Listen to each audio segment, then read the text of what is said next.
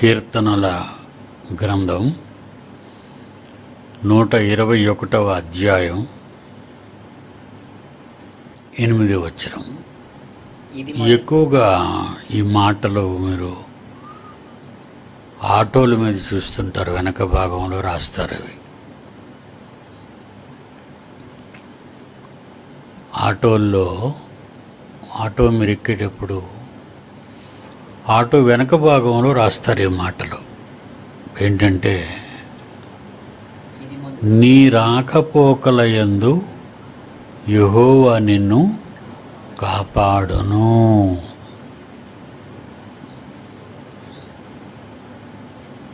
నీ రాకపోకల యందు యుహోవా నిన్ను కాపాడును.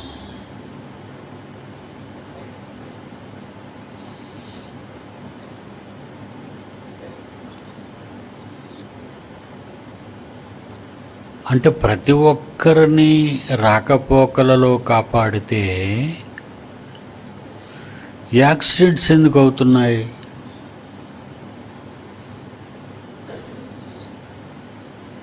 ప్రమాదాలలో ఎంతోమంది ఎందుకు చనిపోతున్నారు గాయాలు పాలవుతున్నారు?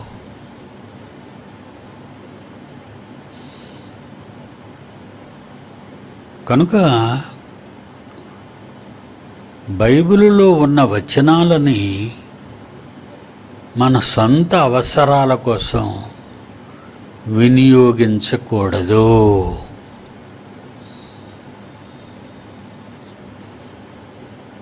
బైబిల్లో ఉన్న వాక్యాలని మన స్వార్థం కోసం మన అవసరాల కోసం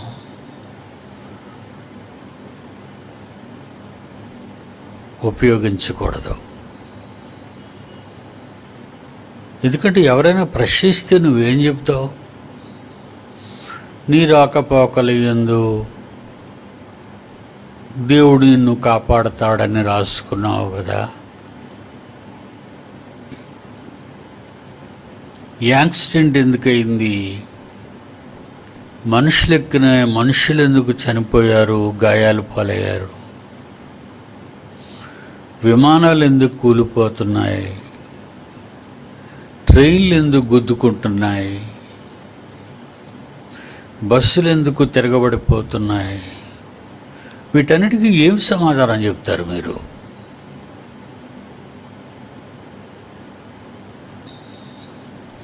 ఎక్కువ మనవాళ్ళేనండి.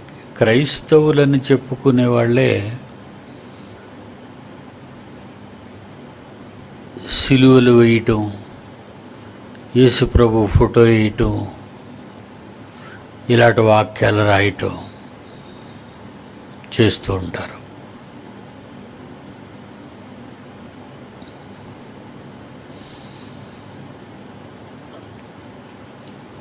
అలాగే బైబిల్లో కొన్ని వచనాలు ఉంటాయి అవసరార్థమైన వచనాలను వాడుకుంటారు మనవాళ్ళు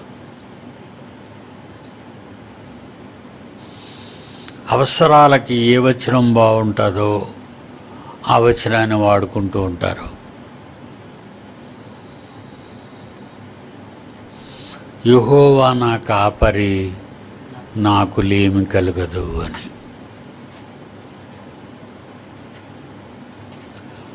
అడుగుడి మీకు ఇయ్యబడును వెదకుడి మీకు దొరుకును అంటాడు. చాలా చర్చిలు మీరు చూసారో లేదు కానీ వాళ్ళు ప్రహారీ గోడల నిండా బంగారు వాక్యాలే.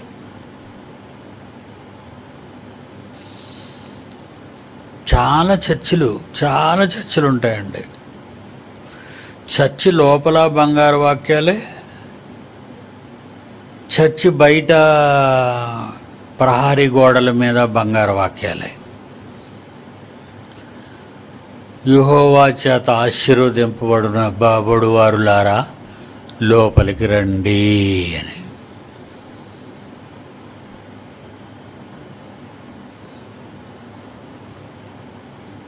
అంటే లోపలికి వెళ్ళే వాళ్ళేది ఆశీర్వదింపబడతారా? బయట ఉన్న వాళ్ళం మేము ఆశీర్వదింపబడిన వాళ్ళం కాదా? అని అనుకునే వాళ్ళు ఏం చేస్తారు?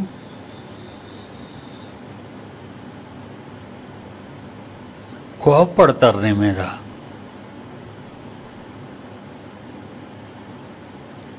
ఈరోజు ఆర్ఎస్ఎస్ వాళ్ళు కానీ బజరంగ దళ వాళ్ళు కానీ మనం సరైన పద్ధతిని ఉపయోగించకపోవటం వలన మన మీద తిరుగుబాటు చేస్తున్నారు.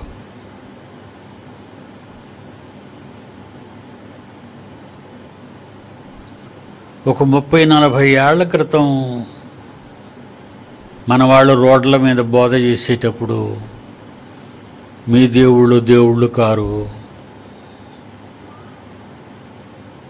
మీరు విగ్రహాలను పూజించకూడదు మేమే మా దేవుడి నిజమైన దేవుడు అని మాట్లాడుతూ ఉంటారు. అప్పుడు పాపం ఏమనేవారు కాదండి. అంటే ఆనాటి నుండి కూడా హైందవ సోదరుల్ని రెచ్చగొట్టడం రెచ్చగొట్టడం ప్రారంభించారు. రెచ్చగొట్టడం న్యాయమా?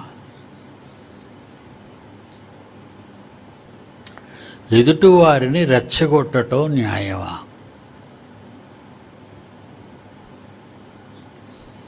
నీ దేవుడు గొప్పవాడైతే ఎంత గొప్పవాడో చెప్పు. అలా అని పక్కనున్న దేవుడు మంచి దేవుడు కాదని కానీ దేవుడు కాదని కానీ చెప్పకూడదు. మన దేశంలో తిరుగుబాటు వచ్చింది అందుకే.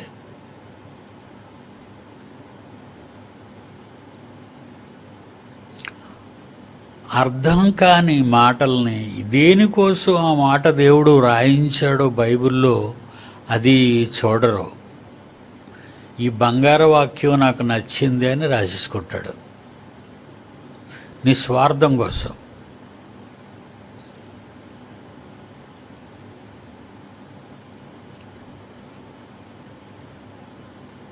బైబిల్లో కొన్నిసార్లు అపోస్తుడని పౌలు కానీ బర్ణబా కానీ శీల గారు కానీ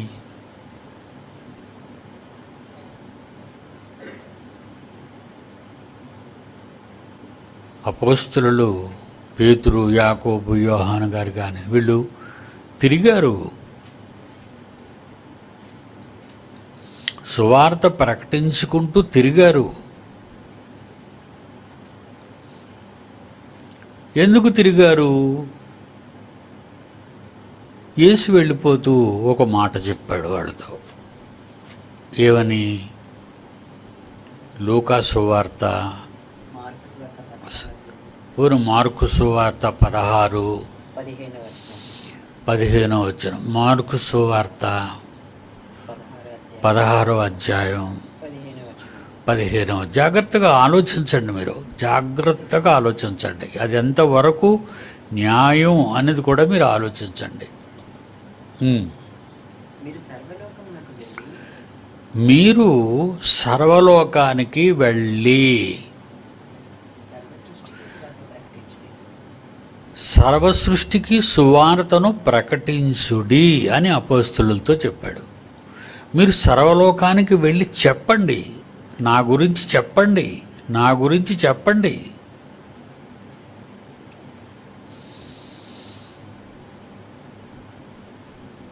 కనుక వెళ్ళారు.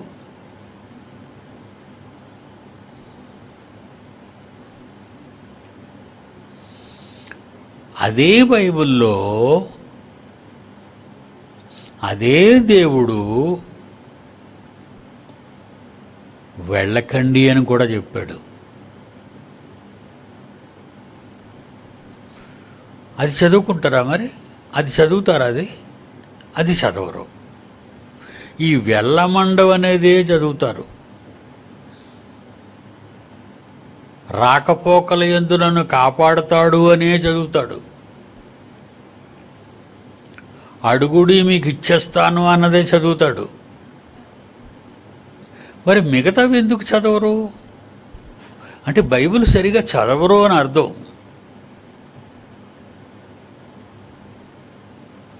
మీరు బాగా ఆలోచించాలి. బైబిలు మీరు అనుకున్నట్టు ఉండదు దేవుడు అనుకున్నట్టు ఉంటుంది బైబిలు మనం మన ఇష్టానుసారంగా తిప్పేసుకోకూడదు బైబిల్ని. దేవుని ఆలోచన ప్రకారంగా మనము నడవాలే తప్ప మన ఆలోచన ప్రకారంగా బైబిల్ను తిప్పుకోకూడదు.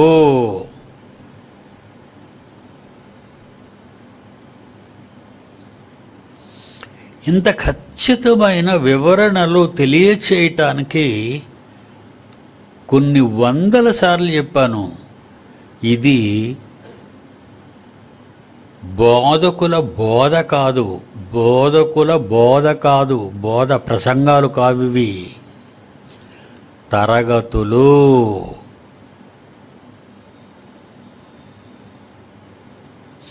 ఇది విశ్వవిద్యాలయం విద్య ఆలయం బైబుల్ అనే విద్యకు ఆలయం విద్యాలయం ఇది.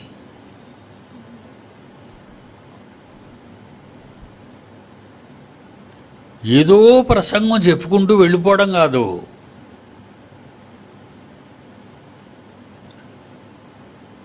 పాఠం నేర్పించు ఒక పాఠం నేర్పించు బడిలో. బడిలో పాఠం నేర్పించాలి.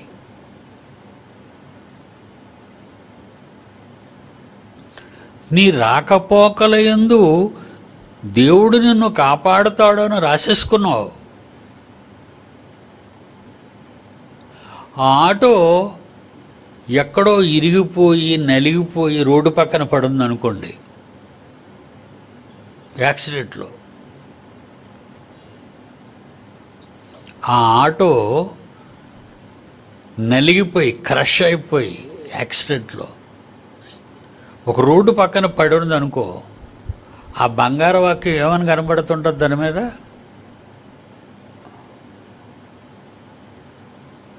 నీ రాకపోకలయందు దేవుడు నిన్ను కాపాడుతాడని దాని మీద ఉంటే నువ్వెందుకు ఇలా రోడ్డు పక్కన పడి నలిగిపోయావు? ఇందులో ఎంతమంది చచ్చిపోయారు? ఎంతమంది గాయాలు పాలయ్యారు?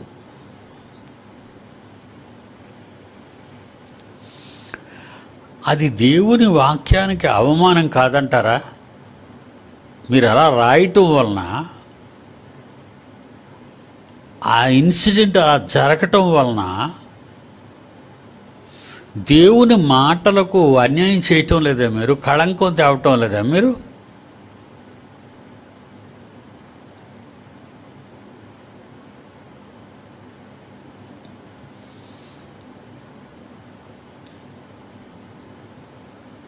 రాకపోకల్లో కాపాడాలని తెలీదు ఆయనకి? సర్వలోకానికి వెళ్ళండి సువార్త చెప్పేయండి.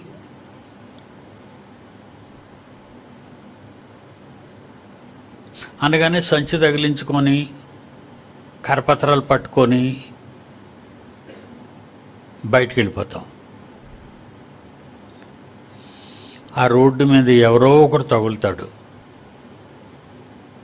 ఈ మధ్య జరుగుతున్న గొడవలు ఎలాంటివి? మాకు దేవుడు లేడా? ఇటు మీ దేవుడు చెప్పి మీ దేవుడు గురించి మీరు చెప్పడానికి ఇక్కడికి వచ్చారా? మాకు దేవుడు ఉన్నాడు మాకు ఇక్కడ చెప్పనవసరం లేదు పొండి అని చాలా భయంకరమైన బూతులు ఆడుతూ కొడుతూ పంపుతున్నారు కొట్టేస్తూ పంపుతున్నారు.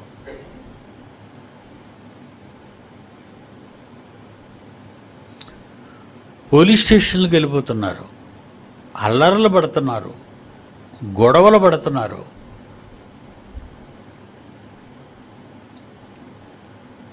మన మధ్య జరుగుతున్నవండి ఇవన్నీ మన మధ్య జరుగుతున్నాయి. ఇవేవి నేను కానివేవి చెప్పటం లేదు. ఇది బడిలో పాఠాలు ఇవి మరి సర్వలోకానికి వెళ్ళమన్నాడు కదా. మేము సర్వలోకానికి వెళ్ళాలని మా ఊర్లోకి వెళ్ళి మా వీధిలో ప్రకటిస్తుంటే వాళ్ళు అడ్డుకున్నారండి.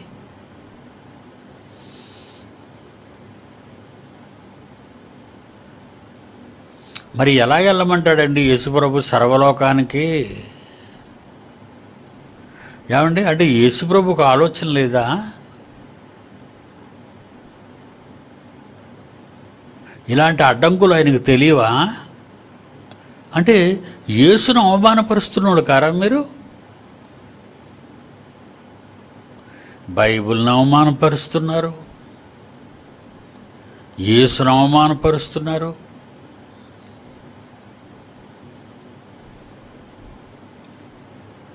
ఈ మధ్య చాలామంది క్రైస్తవులకి ఇల్లులు ఇవ్వటం లేదండి. మీలో చాలామందికి తెలుసు. ఏమండి మేము క్రైస్తవులు అని అన్నారనుకోండి మీకు ఇల్లు ఇవ్వండి అంటారు. ఎందుకు? ఎందుకు ఇవ్వరట మనకి? అర్ధరాత్రి వరకు పాటలు పాడి బాజాలు వాయించుకొని చప్పట్లు కొడుతుంటారు. అర్ధరాత్రి దాటిన తర్వాత కూడా. జరగటం లేదు అది? ఏమండి పక్కంటోళ్ళు పడుకోవాలి కదండి వాళ్ళు కూడా? మరి వాళ్ళ మంచి చెడ్డలు చదువుకోవాలి కదా వాళ్ళు? ట్రైన్ డ్రైవర్లు ఉంటారు లారీ డ్రైవర్లు ఉంటారు ఫ్లైట్ డ్రైవర్లు ఉంటారు. మరి తెల్లవారు వెళ్ళి పని చేసుకోవాలా? మీరు అర్ధరాత్రి దాటినంత వరకు ఓ గోల చేసుకొని కేకలు వేసుకొని అలా ఉండటం వలన మేము క్రైస్తవులకి ఇల్లులు ఇవ్వము.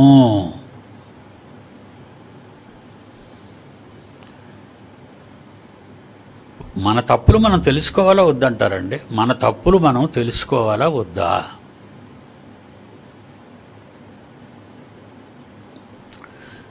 దేవుని నమ్మే దేవుని నమ్మే దేవుణ్ణి నమ్మే అంటారే తప్ప నమ్మి నువ్వు దేవుని ఉంది ఇలా ఉండాలి ఇలా ఉండాలి ఇలా ఉండాలి ఇలా ఉండాలని చెప్పరండి. దేవుళ్ళో ఇలా ఉండాలి అని చెప్పరు.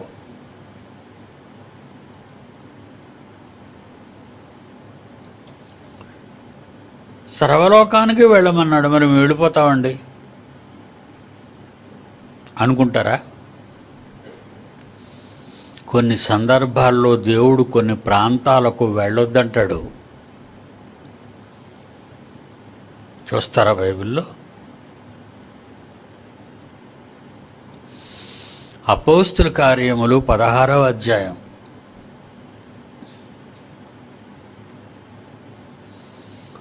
అపోస్తుల కార్యములు పదహారవ అధ్యాయము ఆరో వచనం.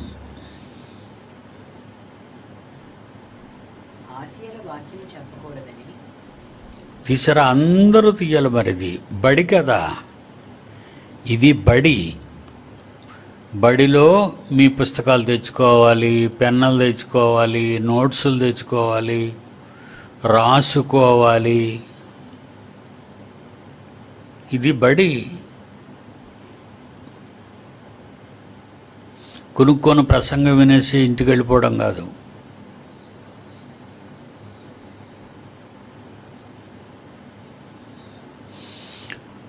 పదహారో అధ్యాయం ఆరో వచ్చినంలో ఏమని రాయబడింది? ఆసియాలో వాక్యము చెప్పకూడదని పరిశుద్ధాత్మ వారిని ఆటంకపరిచినందునా.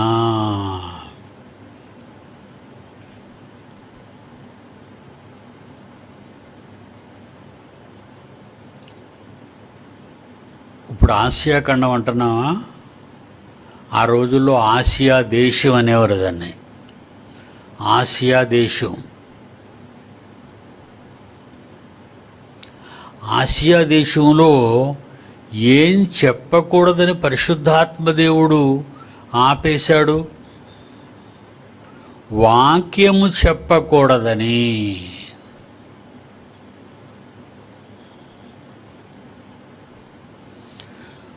కొన్ని ప్రాంతాలకు వెళ్ళి మీరు వాక్యము చెప్పకూడదు.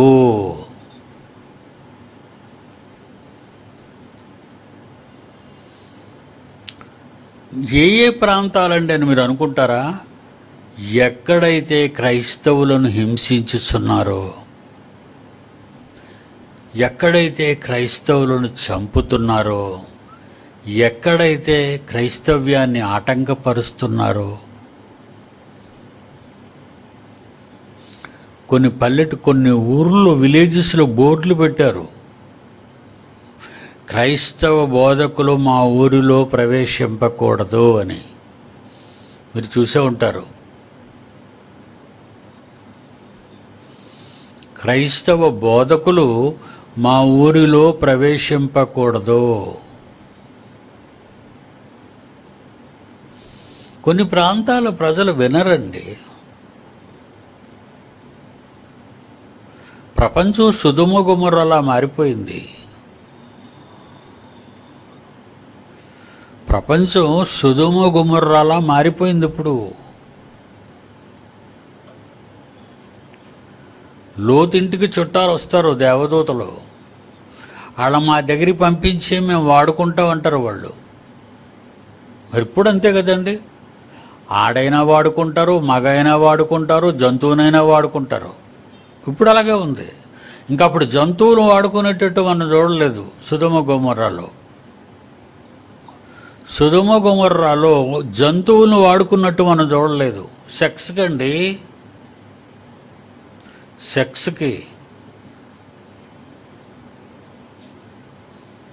ఇప్పుడు జంతువులు వాడుకుంటారు. ఆడవాళ్ళని వాడుకుంటారు నపూసకులను వాడుకుంటారు మగవాళ్ళని వాడుకుంటారు ఆడవాళ్ళు ఆడవాళ్ళని వాడుకుంటారు మగవాళ్ళు మగవాళ్ళు వాడుకుంటారు. సుధుమోగుముర్రా కంటే హీనంగా మారిపోయిందండి ఈరోజు ప్రపంచం. నాట్ ఓన్లీ ఇండియా ప్రపంచం. సిగ్గుమాలిన తరం. పాపభూయిష్టమైన తరం వ్యభిచారి తరం.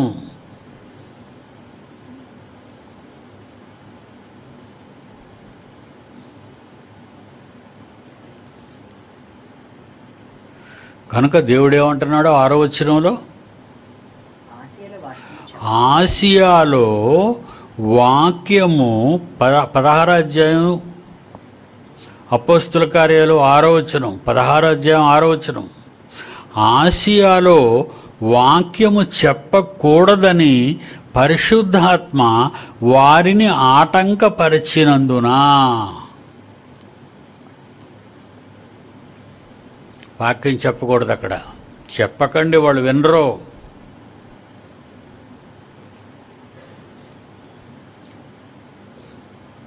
వినిన వారిని ఏం చేయమన్నాడు? ఒకవేళ వాళ్ళు వినరు అనుకోండి వినకపోతే మిమ్మల్ని ఏం చేయమన్నాడు? ఎవడైనను విననివాడైతే అతడిని విననివానిగానే ఉండనిము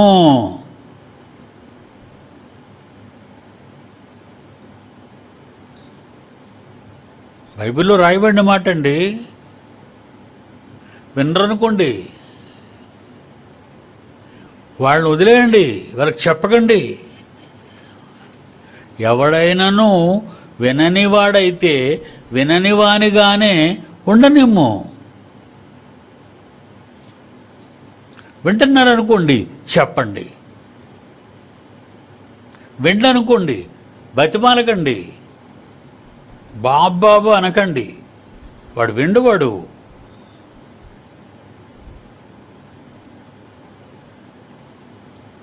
కనుక ఆసియాలో వాక్యము చెప్పకూడదు అన్నాడు దేవుడు. నువ్వు చెప్పొద్దు వెళ్ళి వా- ఆసియా ఆసియా దేశానికి వెళ్ళి అక్కడ వాక్యం చెప్పొద్దు.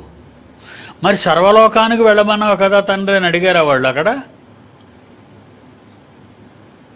సర్వలోకానికి వెళ్ళమని అడిగారా వాళ్ళు? మరి నువ్వే కదా చెప్పవు తండ్రి సర్వలోకానికి వెళ్ళి సర్వసృష్టికి సువార్త ప్రకటించండి అని. మరి ఇప్పుడు వెళ్ళొద్దంట పెట్టి నువ్వు ఆశయకు మమ్మల్ని? ఆయన వద్దంటే మానే ఆయన వెళ్ళమంటే వెళ్ళు.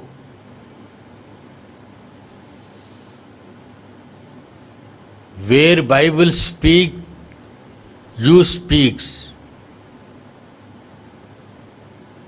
Bible ఎక్కడ మాట్లాడమందో అక్కడే నువ్వు మాట్లాడు. బైబిల్ ఎక్కడ మాట్లాడవద్దు అందో అక్కడ నువ్వు నోరు మూసుకొని ఊరుకోవాలి. బైబిల్ మాట్లాడొద్దు అని బైబిల్ చెబితే బైబిల్ మాట విని మాట్లాడడం మానేయి. బైబిల్ మాట్లాడమని బైబిల్ చెప్పిందనుకో అక్కడ నువ్వు బైబిల్ చెప్పు.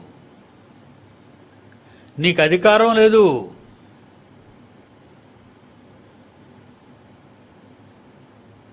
చాలామందికి పాఠాలు తెలియదు కదండి. ఏదో ఇస్తేరు ప్రసంగం కొరనేలు ప్రసంగం ఏమండి? పేతురు గారు అత్త జ్వరం పడిపోయిందని అదొక ప్రసంగం. కుష్ఠరోగిని బాగు చేశాడని ప్రసంగం. మోసే సముద్రాన్ని పాయలు చేశాడని ప్రసంగం. అగ్నిరథాల మీద ఏలియా వెళ్ళిపోయాడని ప్రసంగం. హానోకి వెళ్ళిపోయాడని ప్రసంగం. ప్రసంగాలేనా? పాఠాలు చెప్పయ్యా. పాఠాలు చెప్పు పాఠాలు లేవు. అందరూ తప్పులు చేస్తున్నారు. తప్పుడు మాటలే చెప్తున్నారు అందరూ. బడిలోకి వెళ్తేనే కదా నీకు పాఠాలు వస్తాయి డిగ్రీ పాస్ అవుతావు. రోడ్డు మీద తిరిగితే నీ నీకేమొస్తుంది హరికథలు చెప్పేవాళ్ళ దగ్గరికి బుర్రకథలు చెప్పేవాళ్ళ దగ్గరికి నువ్వు వెళితే వాళ్ళ కథలు చెప్తారు మనుషులు కల్పించు కథలు. దేవుడు చెప్పిన మాటలు చెప్పరు వాళ్ళు. మనుష్యులు కల్పించిన కథలు. లేకపోతే వాళ్ళ కథలు. వాళ్ళ కథలు అంటే సాక్ష్యాలు అని అర్థం. వాళ్ళ కథలు అంటే వాళ్ళ సాక్ష్యాలు. నీ సాక్ష్యం ఏంటయ్యా బాబు? నీ గురించి పక్కోళ్ళు చెప్పింది సాక్ష్యం అవుతుంది కానీ నీ గురించి నువ్వు చెప్పుకున్నది సాక్ష్యం అవ్వదు అది కూడా ఆ కామన్ సెన్స్ కూడా తెలియదు వాళ్ళకి. సాక్ష్యం అంటే ఏంటో తెలుసా? కోర్టులో అడుగుతారు మరి నువ్వు నేరం చేయలేదంటున్నావు కదా నీకు సాక్ష్యం ఉందా? అని. నాకు సాక్ష్యం లేదండి నాకు నేనే సాక్షిని నేను నేరం చేయలేదు? అంటాడు. మూడు వందల రెండు ప్రకారం ఇటు గురి తీసేయమని రాసేస్తాడు అక్కడ. నీ సాక్ష్యం అలా తగలడుతుంది అక్కడ. కోర్టుకి చెల్లని సాక్ష్యాలు మనుష్యుల ముందు చెల్లని సాక్ష్యాలు దేవుని దగ్గరికి వచ్చి చెప్తావా ఈ దొంగ సాక్ష్యాలన్నీ దేవునికి చెప్తావా సాక్ష్యం ఇప్పుడు అమ్మగారు వచ్చి సాక్ష్యం చెప్తారు అంటాడు పాస్టరు. ఇప్పుడు అయ్యగారు వచ్చి సాక్ష్యం చెప్తుంది అంట అంటాడు అయ్యగారు. ఏడు వచ్చి చెప్తుంది సాక్ష్యం? నేను రాత్రి ప్రార్థనలో ఉన్నానండి ఉన్నావు. మాకు తెలుసా? నువ్వు చెప్పుకుంటున్నావు. నాకు రాత్రి దేవుడు కనబడ్డాడు. కనబడ్డాడా? నాకు కనబడ్డాడు. అమ్మా నువ్వు గర్భవతి అవుతావు అని చెప్పాడు.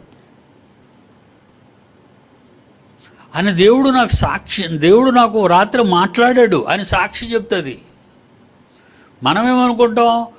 దేవుడు కనబడిపోయి గర్భవతి అవుతావు అని చెప్పేశాడటండి అసలు వీడికి దేవుడు కనబడ్డారా వీడికి ఆ మాటలు ఏమైనా చెప్పాడా? దేవుడు కనబడడని బైబిల్లో ఉంది దేవుడు మాట్లాడాడని బైబిల్లో ఉంది. బైబిల్లో దేవుడు కనబడడు. దేవుడు మాట్లాడు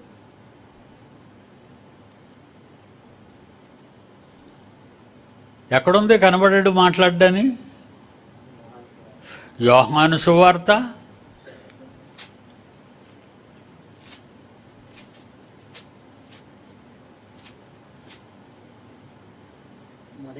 మొదటి అధ్యాయం పద్దెనిమిదవ వచనము. తీయండి అందరూ.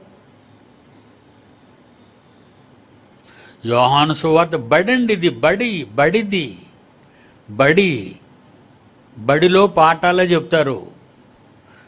ప్రసంగాలు ఉండవు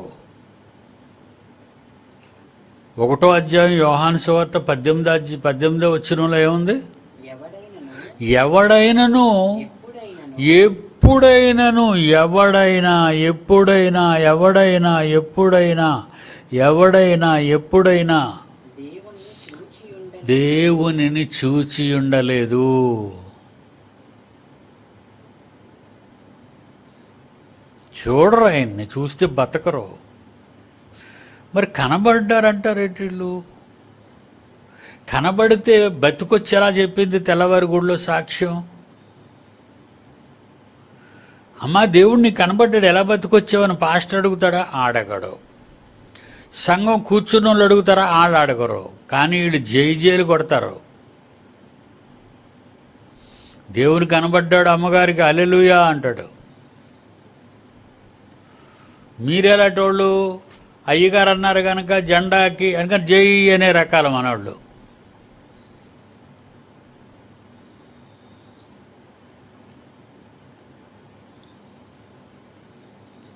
నమ్మకండర్రా. మోసపోతుందర్రా క్రైస్తవ్యం. బైబిల్ను పాఠాలుగా ప్రపంచంలో ఎవరు చెప్పటం లేదర్రా. ఇది బైబిల్ బడికి వెళ్తాను అలా అక్కడ బైబిల్ కాలేజ్ ఉంది అనుకోకండి.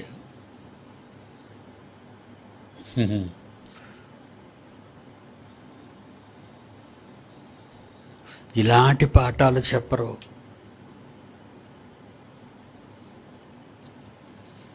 అలా చదువుకొని ఏడో వచ్చినానికి రండి పదహారో అధ్యాయం పదహారో అధ్యాయం అపోస్తుల కార్యాలు ఏడో వచనంలో. ఆరో వచనంలో ఆసియాలో వాక్యం చెప్పకూడదని పరిశుద్ధాత్మ దేవుడు వాళ్ళని వెళ్ళనివ్వలేదు ఆటంకపరిచాడని చదువుకున్నారు ఆరో వచనంలో. ఏడో వచనంకి వచ్చేసరికి పదహారు అధ్యాయం ఏడు ఏడో వచనం. యేసు యొక్క ఆత్మ వారిని వెళ్ళనీయలేదు.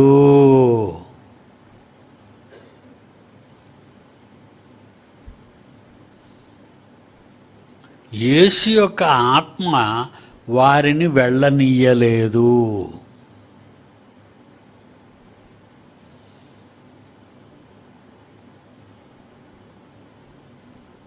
ఆగిపో. వెళ్ళొద్దన్నాడు కదా. వెళ్ళటం మానేయి.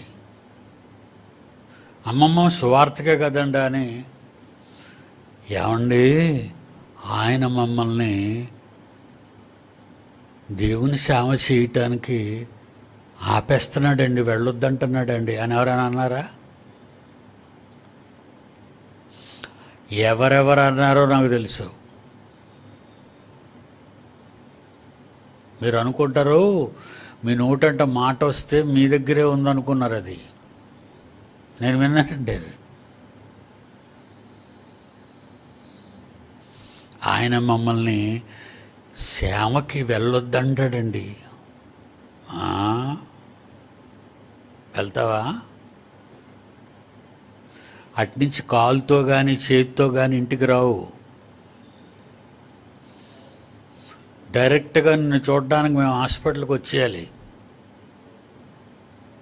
అలాగ అన్న వాళ్ళందరికీ జరిగే పనిష్మెంట్ అదే.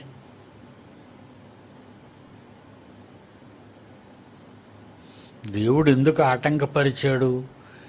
నీకు అపాయం జరుగుతుందని.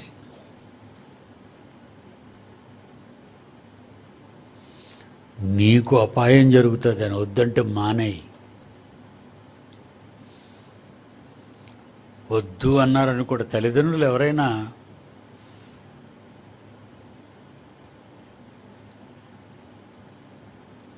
పిల్లలకు పెళ్ళిళ్ళు చేసేటప్పుడు పెళ్ళి కొడుకు ఎలా ఉండాలో ఆలోచిస్తారండి. పెళ్ళి కూతురు ఎలా ఉండాలో ఆలోచిస్తారండి. పాప తిరుగుతారండి ఊరూరు తిరుగుతారు వాళ్ళు. అందరికీ చెప్తారండి. మంచి సంబంధం చూడండి అని. కొందరు జాతి కులం మతం ఎంత నీచ నికృష్టమైనదో తెలుసండి ఇది? మన జాతి వాడండి. తాగబోతేనే పర్లేదు. మన జాతి వాడండి. ఊరు మీద తిరిగిన వాడైనా పర్లేదు. మన జాతి. అమ్మాయి కాళ్ళు చేతులు ఎరగొట్టేస్తాడండి. మన జాతి వాడు ఎరగొట్టినా పర్లేదు.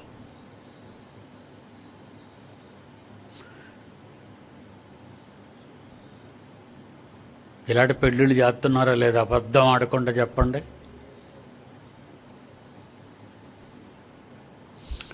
ఇలాంటి పెళ్ళిళ్ళు చేస్తున్నారా లేదా? మరో రకమైన పెళ్ళిళ్ళు ఉన్నాయండి.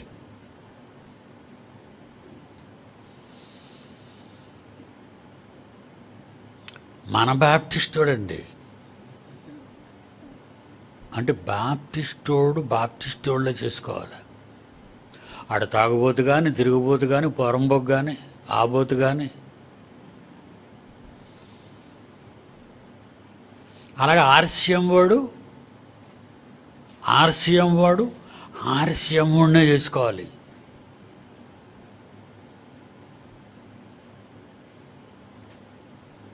జాతిలో సొంత జాతి వాడిని చేసుకోవాలి. మతంలో సొంత మతం వాడిని చేసుకోవాలి. ప్రాంతం మన తూర్పు గోదావరి అయితే బాగుంటుందండి మనకి.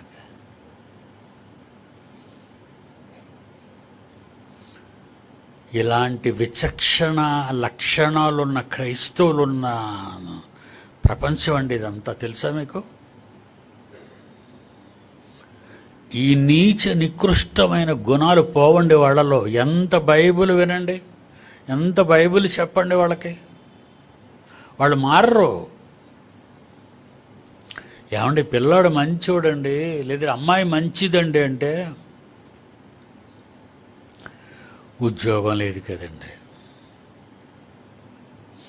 దేవుడు ఆదామకు అవ్వనిచ్చినప్పుడు ఆదాం డిప్యూటీ కలెక్టరా కలెక్టరా? నీ మొహం తగలెట్ట. ఉద్యోగస్తుడు ఇవాళ ఏ భార్యను పెంచడా మగాడు? పెంచుకోలేడా? ఉద్యోగం చేస్తేనే జీతాలు వస్తాయా? కూలి చేసుకుంటే డబ్బులు రావా? అవి జీతం అవి అది జీతం కూలి పెద్ద కూలి ఇది చిన్న కూలి. అది నెల కూలి ఇది రోజు కూలి. నీకు తేడా తెలీదు. చదువు చావలేని మొండు అదొక రకమైన మొటియా టైపుని నీకు ఒక భాషా జ్ఞానం లేదు.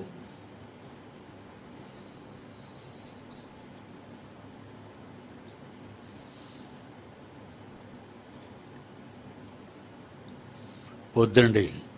తప్పులు చేయకండి రా. తప్పులు చేయకండి. మంచి మంచిగా ఉండండి. బైబిల్లో ఈ బైబిల్ ఏం చెప్పిందో ఈ వారం ఏం చెప్పానో మీరు విన్నారు కదా?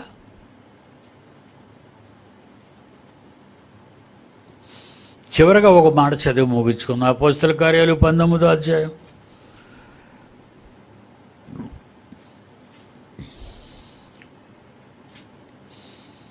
ఇరవై ఆరు ఇరవై ఆరు ముప్పై వచనాలు.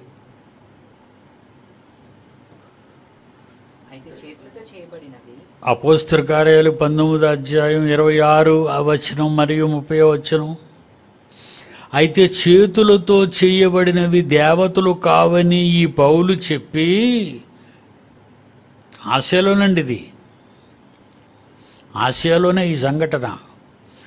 అయితే చేతులతో చేయబడిన దేవతలు కావని ఈ పౌలు చెప్పి ఎఫిస్సులో మాత్రము కాదు దాదాపు ఆసియా అన్నంతటా బహుజనమును ఒప్పించి ఈ పౌలు త్రిప్పియున్న సంగతి మీరు చూచి విని ఉన్నారు. రెచ్చగొడుతున్నారు జనాల్ని పౌలు మీద. చంపేయడానికి. అప్పుడు ముప్పై వచనంలో పౌలు జనుల సభ సభ యొద్దకు వెళ్ళదలచెను గాని శిష్యులు వెళ్ళనీయలేదు బాబాబు మీరు వెళ్ళకండి ఆడ పరిస్థితులు బాగులేవు. మీ మీద చాలా తేడాగా చెప్తున్నారు వాళ్ళు. మీరు ఇప్పుడు లోపలికి వెళ్ళారంటే చంపేస్తారు పౌ- పౌల్ని అని శిష్యులు వెళ్ళనీయలేదు. కొన్ని సందర్భాలలో కొన్నిటికి మనము వెళ్ళకూడదు. కొన్నిటికి మనం వెళ్ళవచ్చును. వెళ్ళాలా వద్దా అన్నది దేవుణ్ణి అడిగి తెలుసుకో. నేను చెప్పేది అదే చివరి ముగింపు. నువ్వు ఏ పనైనా చెయ్యాలనుకో ఒకసారి దేవుడితో చెప్పు.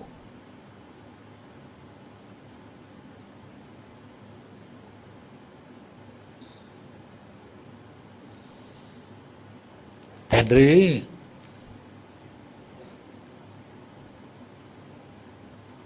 ఆర్బీఐ అని ఒకదాన్ని మేము స్థాపించాం. మోతవలసలో అది సర్వనాశనం అయిపోయింది. ఇప్పుడు ఆర్బీసీని స్థాపిస్తున్నాం రెసిడెన్షియల్ బైబుల్ కాలేజ్. ఇది నిలబడాలంటే మీ అంగీకారం కావాలి. మరి మీ అంగీకారం ఎలా చెప్తావు? వినబడదు కదా మాట కనబడ్డ కదా? అంగీకారం ఎలా చెప్తాడు దేవుడు? రెసిడెన్షియల్ బైబుల్ కాలేజీ ప్రారంభానికి ఏ ఆటంకాలు లేకుండా పనులన్నీ సజావుగా జరుగుతుంటాయే అది దేవుని ఇష్టం.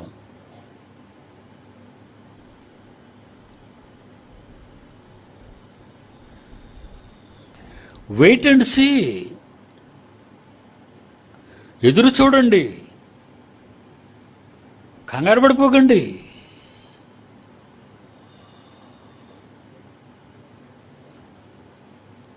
ఇండియాలోని అనేక ప్రాంతాలకు వెళ్ళాను. ఉగ్రవాదులు చిన్నపిల్లలు తీసుకెళ్ళి ఎలా తుపాకులు పేల్చాలి ఎలా నరికేయాలి ఎలా పేకలు కోసేయాలో నేర్పించేస్తున్నారు వాళ్ళు. ఐఎస్ఐ తీవ్రవాదులండి తాలిబాన్ తీవ్ర తీవ్రవాదులండి చిన్నపిల్లలు కదండి తీసుకెళ్ళిపోతున్నారు వాళ్ళు. తండ్రి పన్నెండో ఏటే నీ కుమారుడైన యేసుక్రీస్తు వారు పాఠాలు చెప్పడం మొదలుపెట్టాడు. మరి చిన్ననాటి నుండి పిల్లల్ని నీ సన్నిధిలో మరి పెంచాలి గొప్ప వాళ్ళనుగా చేయాలి గొప్ప గొప్ప వాళ్ళనుగా చేయాలి అని నేను కలల కంటున్నాను తండ్రి అని నా మనసులోని కోరిక నా మనసులోని కోరిక నా దేవునికి చెప్పాను పబ్లిక్ మీటింగుల్లో చెప్పాను ప్రపంచం దీనికి సాక్ష్యం. అంతేనండి పిల్లలు చేరడం మొదలుపెట్టారు. కానీ అది దైవ సంకల్పం కాదు.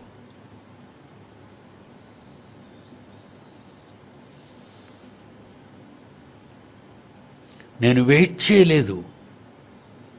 నేను ఎదురు చూడలేదు.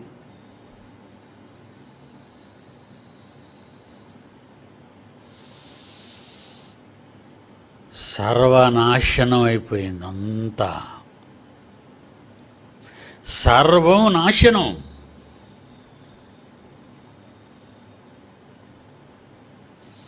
ఎంత చెడ్డ పేరు? ఎంత చెడ్డ పేరు వచ్చిందండి. తల ఎత్తుకోలేకపోయాను ప్రపంచంలో. నా దేవుని దగ్గర తల ఎత్తుకోలేకపోయాను. ఎంత పని అయింది దేవుడా అని. ఎందుకు ఈ విషయం చెప్తున్నాను అంటే తప్పు జరిగిన ప్రతిసారి ఎరోబామును ఎత్తుకుంటాడు దేవుడు బైబిల్లో. తప్పు జరిగిన ప్రతిసారి కయ్యిన్ని ఎత్తుకుంటాడు దేవుడు. తప్పు జరిగిన ప్రతిసారి ఆదామును ఎత్తుకుంటాడు దేవుడు. అవ్వనెత్తుకుంటాడు దేవుడు. తప్పు జరిగిన ప్రతిసారి యజబల్ని ఎత్తుకుంటాడు దేవుడు. ఎందుకంటే బిలామును ఎత్తుకుంటాడు ప్రవక్త అయిన బిలామును ఎత్తుకుంటాడు రాజు అయిన బాలాకును ఎత్తుకుంటాడు. బైబిల్లో వీళ్ళ గురించి చెప్పని పరిస్థితులు ఉండవు. అలా దేవుడు చెబుతూనే ఉంటాడు జాగ్రత్త వీళ్ళ వాళ్ళు ఇలా ఇలా జరుగుతాయి ఈ క్యారెక్టర్స్ వల్ల ఇలా జరిగిపోతాయి అని చెబుతుంటాడు. అందుకే నా నోట ఎప్పుడు ఈ మాట పలుకుతూనే ఉంటాను ప్రపంచవ్యాప్తంగా. ఎందరో కన్నీళ్ళు కార్చారు ఎన్నో లక్షలు లక్షలు నాశనం అయిపోయాయి. సాతాను కొట్టిన దెబ్బ అంటారు దాన్ని. సాతాను కొట్టింది ఆ దెబ్బ?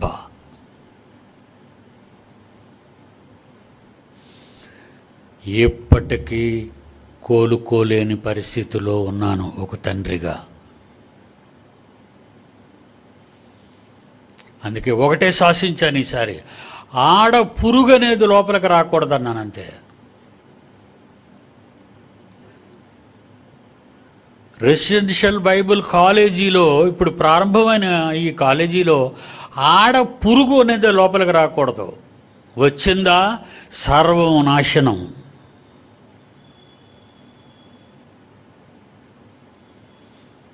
దేవుని మహాకృపను బట్టి చాలా చక్కగా నడుస్తుందండి ఈరోజు.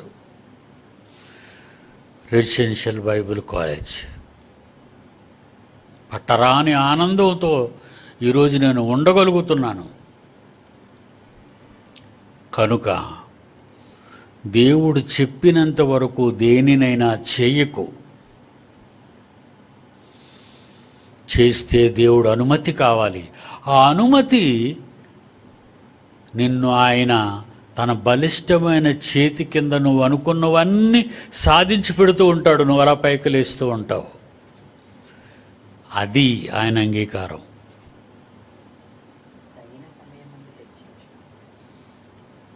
God బెస్ you